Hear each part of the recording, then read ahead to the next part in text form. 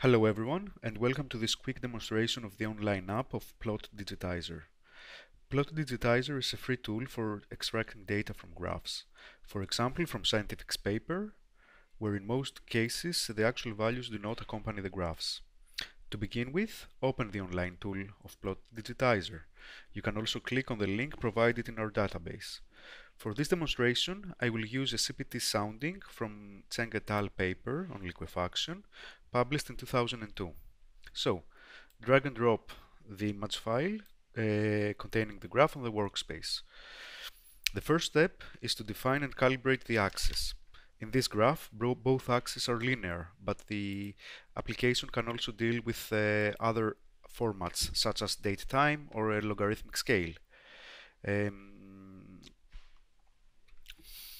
To calibrate the axis, we must place uh, these markers on the axis limit. Uh, x-axis is the tip resistance and goes from 0 to 10.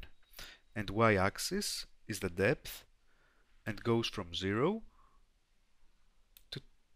20. Note also on the top right corner the zooming pane.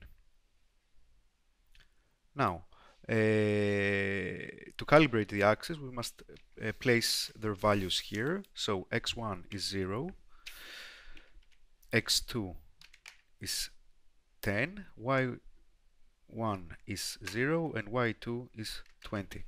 And now the, the axes are calibrated. So, uh, it's time to get the data.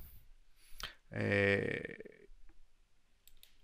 you must click on the points of interest. In this case, where I have a curve, I will click on the curve in small intervals in order to get the correct shape of this curve. And so on. Uh, when complete, you can export the data to a CSV, XLS or other formats by clicking here on this uh, panel